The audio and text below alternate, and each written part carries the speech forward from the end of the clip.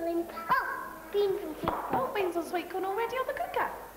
Right, what do we do with them now? Lisa asks questions sparingly. Those she asks are genuine ones. In other words, she doesn't already know the answer. Yeah.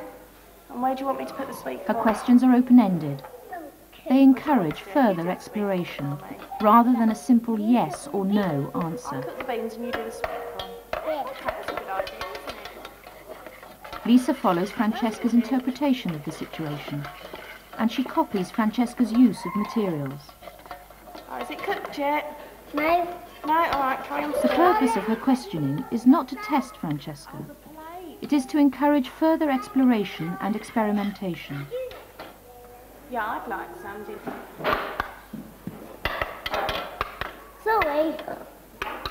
Did you forget the sweet corn for me? She reflects back what Francesca says and what Francesca has done. Ready? Oh, Where's, where's your dinner? there. Where's mine? I don't know. What did you do with it? Look, my dinner. You can't have lost your dinner. Having lost and found her dinner, Francesca describes what has happened in her own words. Get it. You forgot, didn't you? Lisa accepts this without correction, but reflects Francesca's comment back to her using the correct sentence structure. Throughout the whole activity, Lisa resists the temptation to lead or to control what is happening.